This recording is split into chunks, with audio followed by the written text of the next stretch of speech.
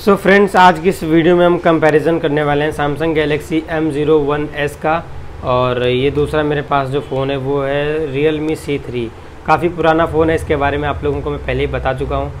और वीडियो शुरू करने से पहले आप लोगों से एक रिक्वेस्ट करना चाहूँगा, अगर आप मेरे चैनल पर पहली बार आए हो तो चैनल को ज़रूर सब्सक्राइब कर लीजिए, साथ ही बेल आइकन को ऑन कर लीजिए, क्योंकि मैं ऐसे ही यूज़फुल वीडियो अपने चैनल पर लाता रहता हूँ। सो बात कर लेते हैं दोस्तों, सबसे पहले रियल मी सी थ्री की। ये फ़ोन काफ़ी पुराना फ़ोन है गाइज़ मैंने इसको ख़रीदा था आज से छः, सात महीने पहले और ये फ़ोन काफ़ी नया है और मॉडल की बात करें तो मॉडल भी नया है, इसको आए हुए मार्केट में एक से डेढ़ महीने हो गए हैं। अब हम बात करते हैं रियल मी सी थ्री की प्रॉब्लम्स के बारे में, सात महीने यूज़ करने के बाद इसमें जो प्रॉब्लम क्या हुई है, उनके बारे में अगर बात करें तो इसकी जो बॉडी वगैरह है वो थोड़ी सी ख़राब हो चुकी है, बिना कवर के यूज़ करने से इसमें शायद मेरी ही गलती रही है कि मैंने इसको कवर से इस्तेमाल नहीं किया, इसलिए इसकी जो डेंटिंग पेंटिंग है वो काफ़ी उथड़ पुथड़ गई है। दूसरी प्रॉब्लम क्या है गाइज़ इसकी जो डिस्प्ले है, वो उतनी अच्छी नहीं है, जो है जितनी अच्छी सैमसंग की है। आप इसमें अगर वीडियो शूट करते हो रियल मी सी थ्री में तो आप जो है उस समय इस फ़ोन में उतनी अच्छी क्वालिटी नहीं दिखती है, लेकिन वही वीडियो जब आप किसी दूसरे फ़ोन में डाल कर देखते हो, जैसे सेंड कर दी मैंने अपने आईफोन सिक्सेस में तो वहाँ पे जो क्वालिटी दिखती है वो काफ़ी अच्छी होती है। शूट अच्छा करता है, लेकिन ये दिखा नहीं पाता, ये इसमें जो है थोड़ी सी प्रॉब्लम मैं कहूँगा। पाँच हज़ार की बैटरी इसमें पाँच हज़ार एम की है। इसमें आपको जो है साढ़े चार से या बयालीस सौ तीस एम की बैटरी मिल जाएगी। अब बात करते हैं इस दोनों के प्रोसेसर की तो इसमें काफ़ी पुराना प्रोसेसर लगा, इसमें नया प्रोसेसर है हीलियो जी सेवेंटी फाइव है शायद, मैं कंफर्म नहीं हूँ सॉरी उसके लिए।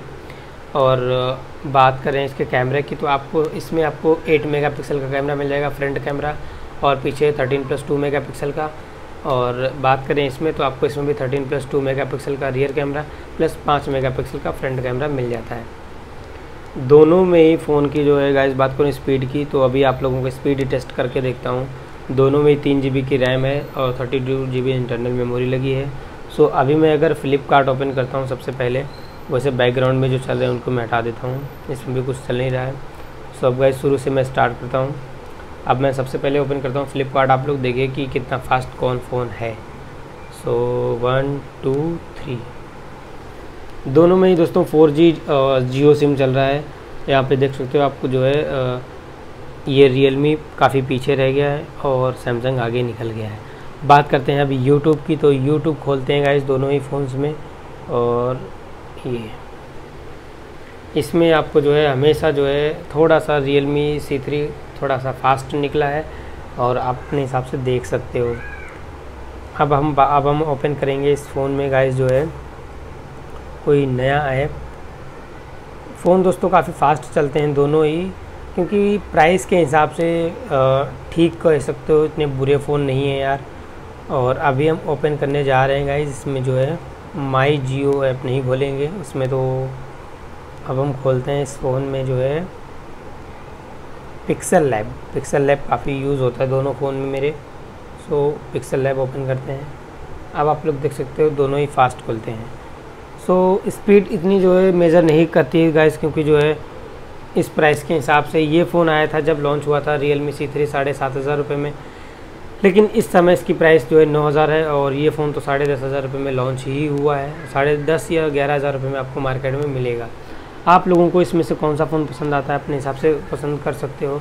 कोई भी फ़ोन जो है फास्ट चार्जिंग को सपोर्ट नहीं करते। दोनों ही यूएसबी टाइप चार्जर हैं। और दोनों में ही आपको हेडफोन जाए भी मिल जाएगा। ये फ़ोन काफ़ी लंबा है इससे। रियल मी सी थ्री काफ़ी बड़ा लगता है। काफ़ी क्या थोड़ा सा बड़ा है इससे आप लोग चेक कर सकते हो।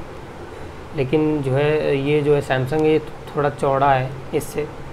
सो आप अपनी ज़रूरत के हिसाब से दोनों ही फ़ोन अच्छे दोनों में ही आपको जो है फेस अनलॉक अनलॉक मिल जाएगा। आप लोग चेक कर सकते हो। सो दोनों ही टाइम पे खुले, लेकिन आपको इसमें फिंगरप्रिंट नहीं मिलता। इसमें आपको फिंगरप्रिंट अनलॉक मिल जाता है। सो so, डिस्प्ले के मामले में आप जब कोई वीडियो वगैरह देखोगे तो आपको इसमें अच्छी तरीके से दिखेगी लेकिन इसमें उतना अच्छा नहीं दिख पाएँगे। आप लोग अपने हिसाब से चूज़ कर सकते हो। सो so, वीडियो ज़्यादा लंबी नहीं करते हैं सिर्फ़ यहीं तक एंड करते हैं। इस वीडियो से जुड़ा कोई सवाल है सुझाव है तो आप कमेंट करके पूछ सकते हो। रही बात गेमिंग वगैरह की तो गेमिंग तो आजकल कोई जो है पबजी था वो भी बेचारा चला गया। अब क्या टेस्ट करें इसमें? नॉर्मल गेम तो दोनों ही फ़ोन में आप आराम से खेल सकते हो। फ्री फायर वगैरह दोनों में ही अच्छे चलेंगे। तीन जी बी रैम इसमें भी है, तीन जी बी रैम इसमें भी है। उम्मीद करता हूँ आपको ये वीडियो पसंद आया होगा। अगर पसंद आया हो तो प्लीज़ इस वीडियो को लाइक कीजिए। इस वीडियो से जुड़ा कोई सवाल या सुझाव तो आप कमेंट करके ज़रूर पूछिए। वीडियो देखने के लिए बहुत बहुत धन्यवाद।